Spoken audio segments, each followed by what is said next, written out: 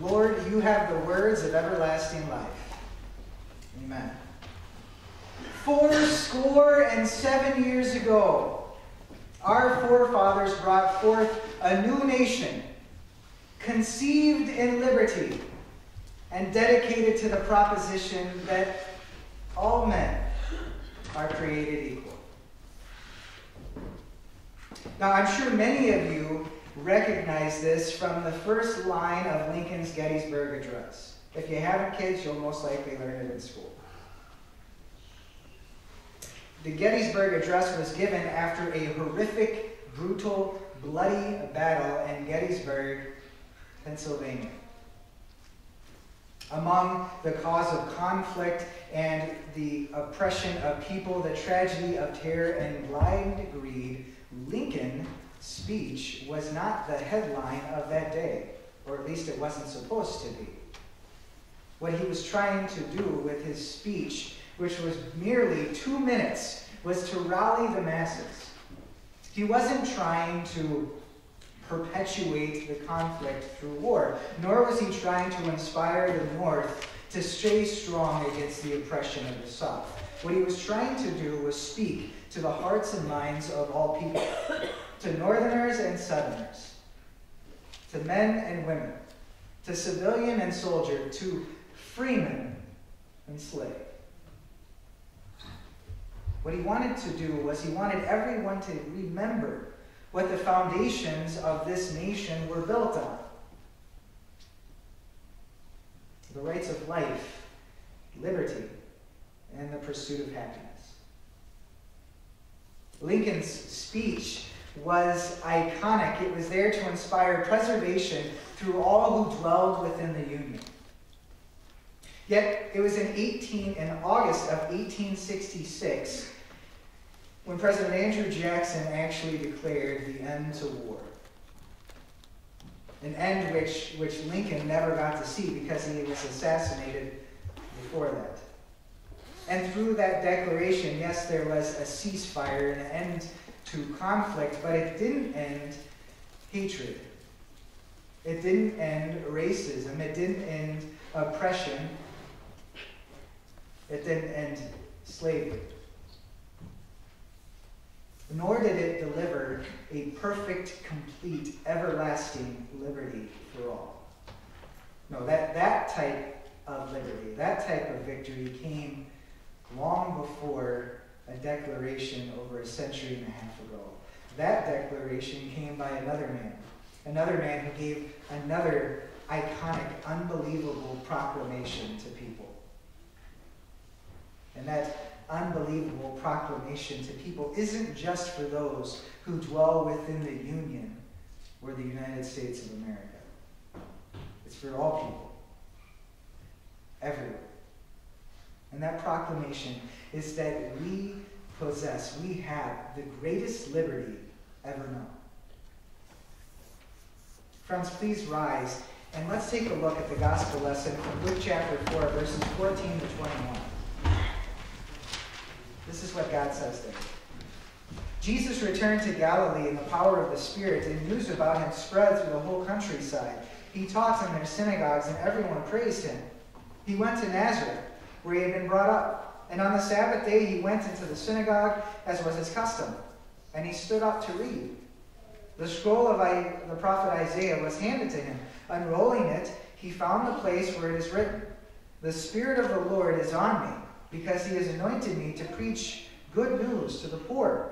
He has sent me to proclaim freedom for the prisoners and recovery of sight for the blind, to release the oppressed, to proclaim the year of the Lord's favor. Then he rolled up the scroll, gave it back to the attendant, and sat down. The eyes of everyone in the synagogue were fastened on him, and he began by saying to them, Today, this scripture is fulfilled in your hearing. This is the gospel of the Lord. Please be seated.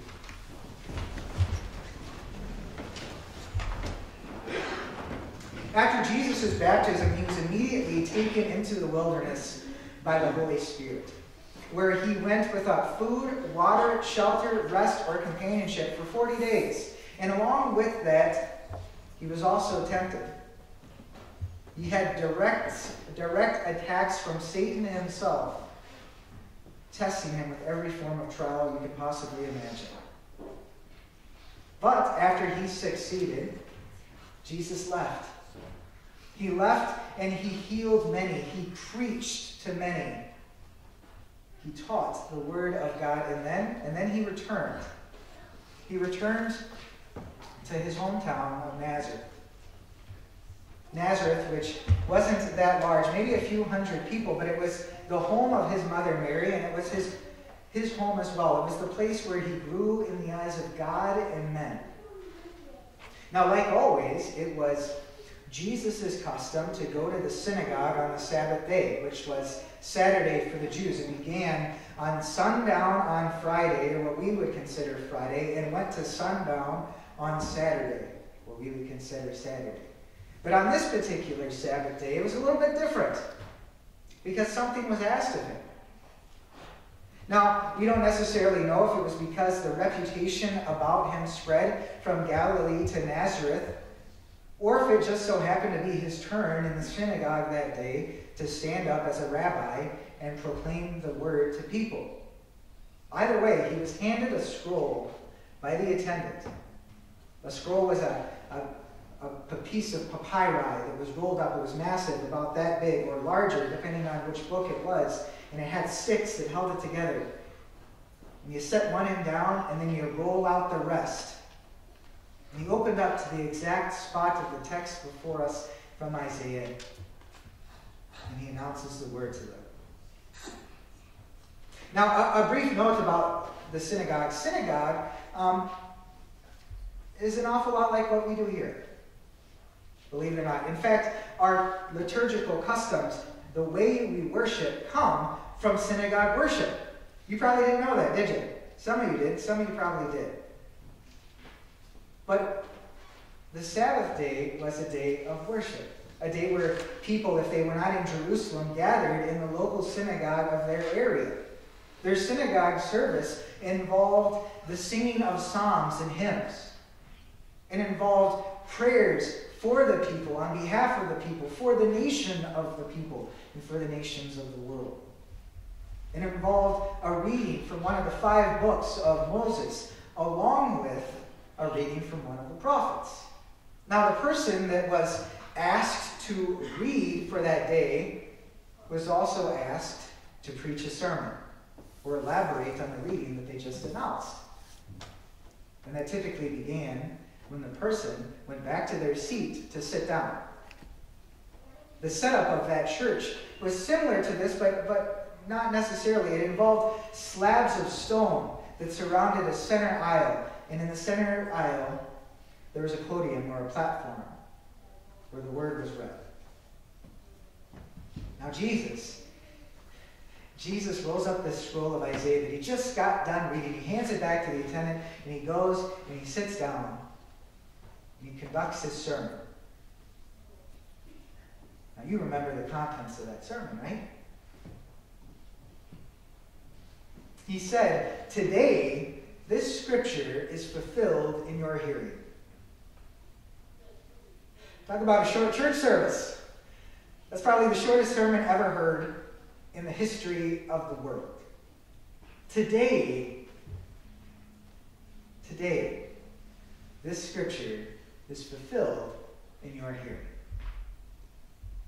Jesus just got done reading Isaiah, who proclaimed the work of the Messiah to the people of Israel.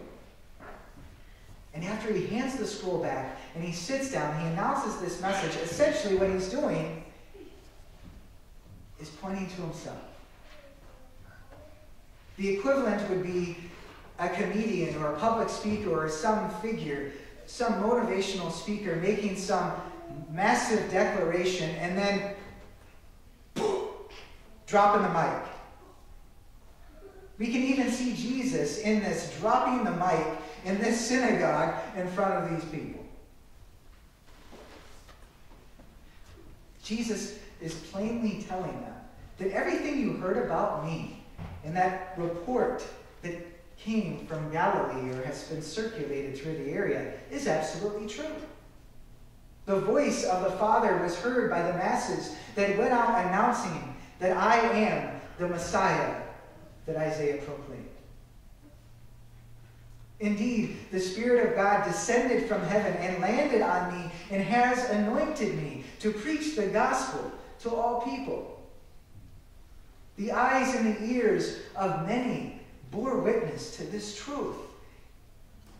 And the account spread boldly and wildly throughout the area of Galilee. Jesus is the one Isaiah proclaimed, who came to enrich the lives of the poor in heart, enrich their lives through, through the pearl of the gospel. He's the chosen one sent by the Father, full of grace and truth, to bring release to those held in chains, in, in chains of sin through the deceptions of the devil and the hatred of the world. Jesus is the anointed Son of God who came to bring that kingdom of heaven before all eyes of all people who are slaves to their iniquities and trapped in darkness. Now, friends, you might be thinking, that sounds awesome. But I don't ever remember having shackles on. So, what does that necessarily mean for me? Well, friends, perhaps, perhaps you've felt deprived of joy lately.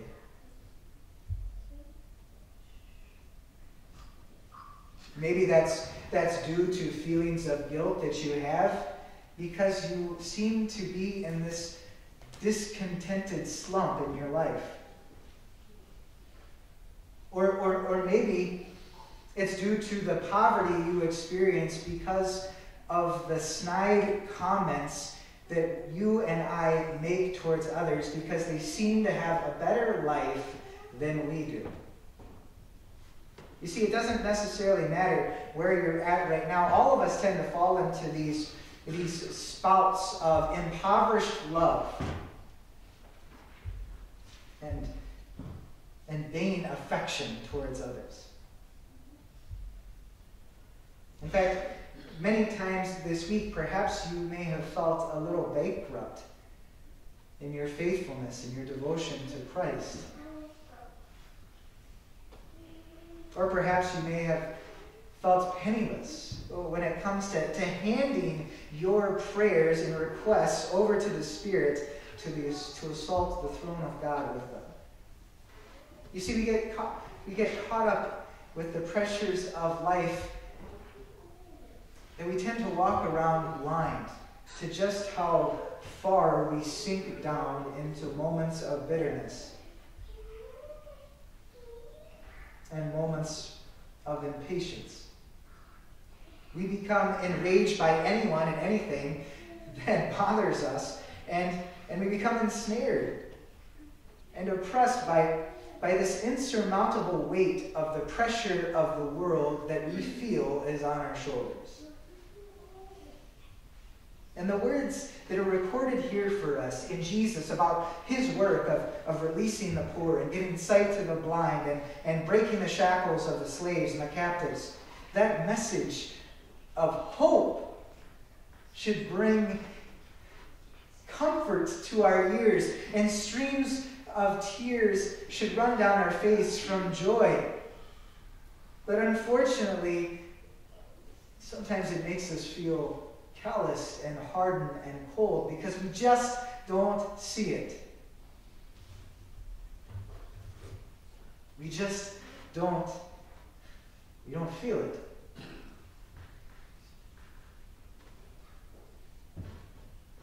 And friends, it, instead of instead of looking down, instead of looking to others, and instead of looking inward to yourselves for that freedom, Look to Him. Look to Jesus and see that He's right there next to you. He's waving you over to behold what He's doing right now at this very moment as your eyes wander from side to side and then back to me. He's pointing you to what He's doing in your life. He's sitting next to you in the car or at home. He's shouting at the rooftops in your life to declare to you how much He really loves you.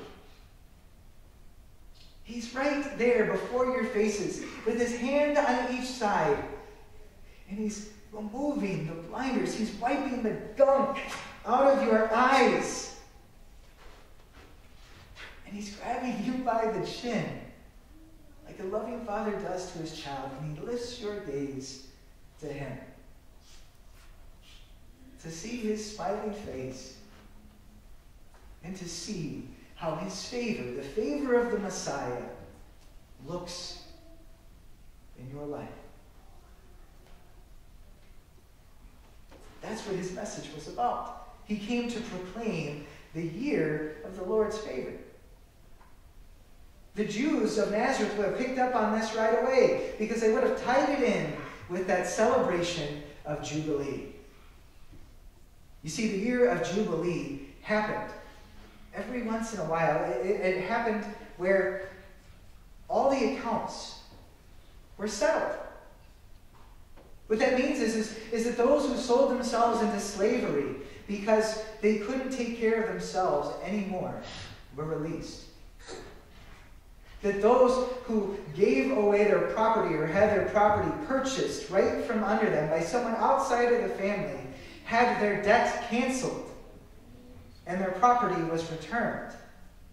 Sins were forgiven by the grace of God through the shedding of blood, and oh, oh, how joyous that year was for those people. To have a home again, to have freedom once more, to be at peace.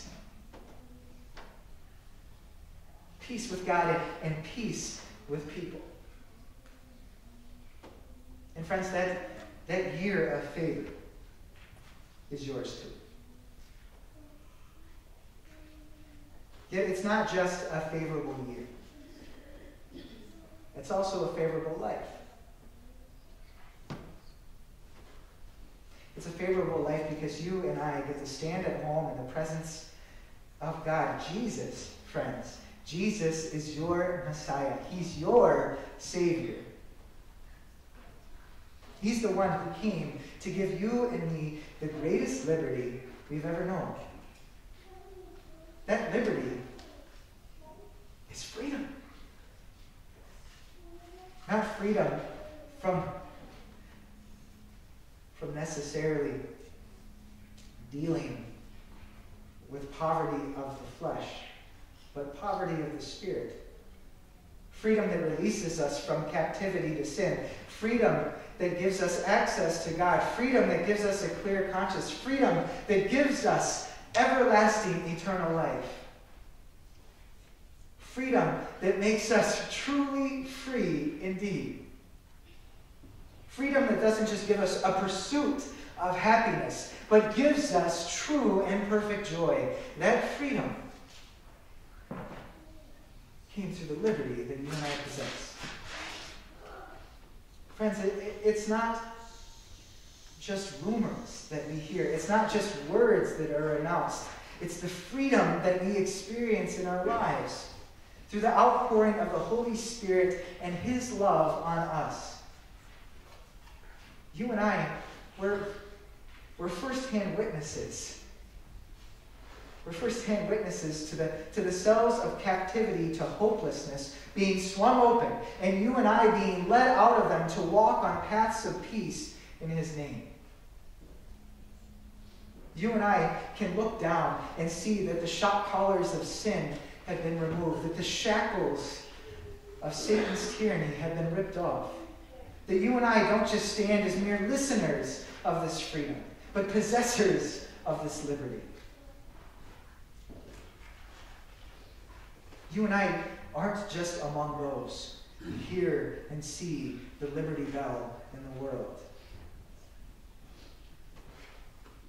We're inheritors of the greatest liberty ever known. That liberty, friends, is built on the promises and work of the anointed Son of God. It's the liberty that gives us the opportunity to come to God's house, not just as a custom, but as a privilege, as a gift, as an act of service. Service where, where you and I, we get to sing praises to God at the top of our lungs, as loud as you want, no matter if you're a good singer or not, whether you're a bass or a soprano or a tenor or an alto, or whether you just sing to the radio in the shower. You get to sing praises to Jesus as loud and as joyous and as animated as you want, because that's the privilege God gives you and me. And He doesn't care how you feel about your voice. He wants to hear it. And He invites us to. It's a gift that you and I get to come to in His house and hear His words of promise, comfort, those words of joy, and take them home and revel in them and bathe in them and clothe ourselves in them and absorb them. Because those words, those words rip us from the gutter of despair, pull us from the poverty of the poison of sin, and hold us in the hand of a loving and just God who came to give us life, who came to give us liberty.